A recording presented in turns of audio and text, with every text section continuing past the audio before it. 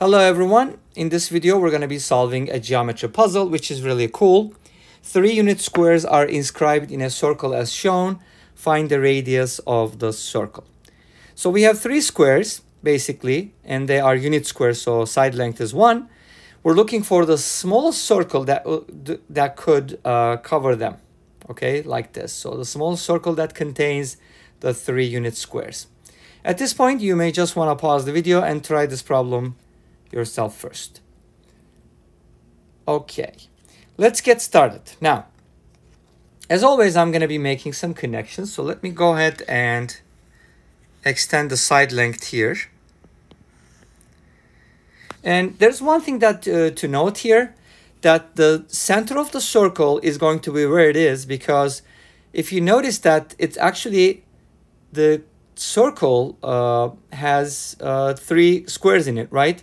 If you look at the line that goes through the middle, it makes sense if the center is below uh, the bottom of the top square because uh, because of the lengths. Look look how uh, the single square is how close it is to the circle as opposed to the two squares, right? Okay, so you can tell about where it would be located even if we didn't mark it down. Let's go ahead and connect here this one. And then we'll make one more and that'll be this one. Right here. Okay awesome. So now we're ready to solve the problem. The plan is to use the Pythagorean theorem of course right? But how do we go about that? Well we know that the side length is one so this is going to be one. We don't know this piece so let's call that little piece h there. I could also call the other one h doesn't really matter. Here and then this will be 1 minus h. And this will be the radius r. This whole thing will also be the radius r here. And this will be 1 and this will be 1 half. From symmetry, obviously, this needs to be the midpoint. Okay?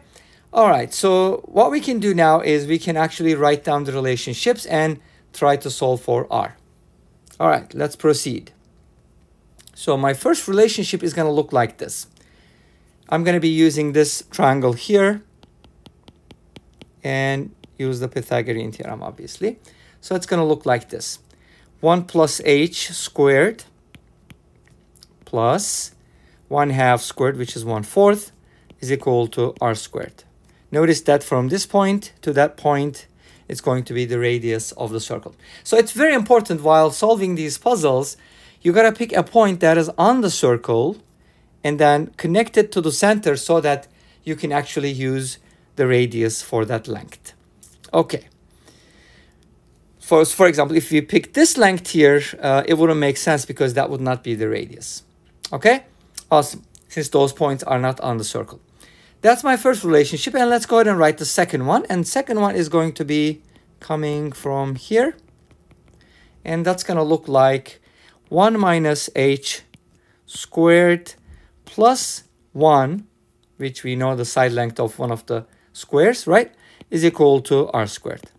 Awesome. Now I got two relationships and they both give me r squared, which means that if two things are equal to the same thing, then they're equal. All right? Let's say that one more time. If two things are equal to the same thing, then they're equal. So I can safely say that 1 plus h squared plus 1 fourth is the same as 1 minus h quantity squared plus 1. Beautiful. Now we can go ahead and take advantage of the fact that we, if we subtract this expression from its counterpart, we're going to get 4 times a times b. So that's going to give us 4h. So we get 4h here. And if we subtract 1 fourth from the 1, we'll get 3 fourths. And if we divide both sides by 4 or multiply by 1 fourth, we'll get h equals 3 over 16. Awesome.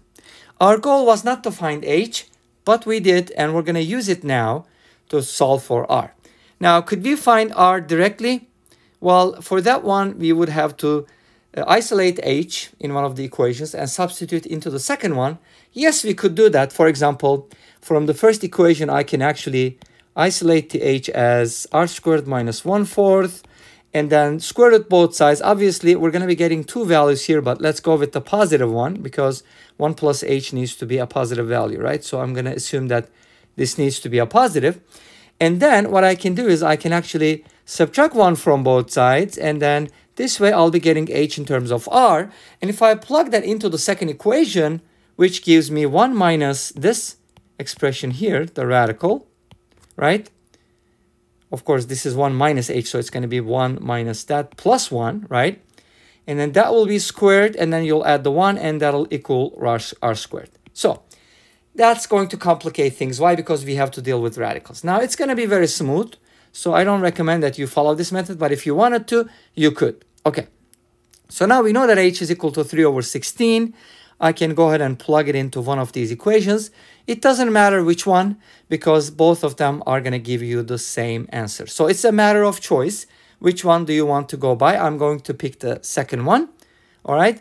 So I'm going to go ahead and plug in, replace h with 3 over 16. Okay. Squared plus 1 over 4. And that needs to equal r squared, right? Oops. That shouldn't be a 1 fourth. That should be 1. All right. So 1 minus h squared plus 1 is equal to r squared. Cool. Now 1 minus 3 sixteenths is going to be 13 over 16. If you square that and add 1, you should get r squared. So let's go ahead and simplify the left-hand side. So we'll get r squared is equal to 1 over 169 over 256 plus 1.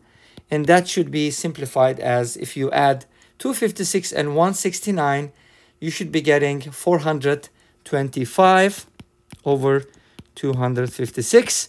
And since we're going to square root both sides, we might as well just factor this expression here. 425 is 5 times 85, right? And 85 is 5 times 17, so this would be 25 times 17, in other words. And that's good because we can just go ahead and square root it now, and it'll be easier when we know how it's factored. Okay, if you square root 25 over 256, that should give you 5 over 16. And if you multiply that by square root of 17, you should get be getting the following result. Okay, and this makes sense because this number is pretty close to fourth, um, if you estimated the square root of 17 as 4-ish, and then that would be 20 over 16, which simplifies as 5 fourths. So this number is pretty close to 5 fourths, and you can tell from here that the actually the radius is going to be slightly larger than 1 because it's the hypotenuse of a triangle whose leg is 1. So that makes sense. Okay, we just wanted to check the reasonableness, even though we didn't need to, because for this problem, for this problem, you do not need to check it. Uh, we didn't get a quadratic, so there's no uh, doubt that our answer is actually valid. So this is the answer. That's the radius of the circle that encompasses three unit squares. This is the smallest circle that does that. And that will be our answer. Okay? Well, thank you for watching. Please comment, like, and subscribe. I hope you enjoyed the video. If you didn't, let me know. If you did, also let me know. Share with me what you think, and I'll see you in the next video. Thank you. Bye-bye.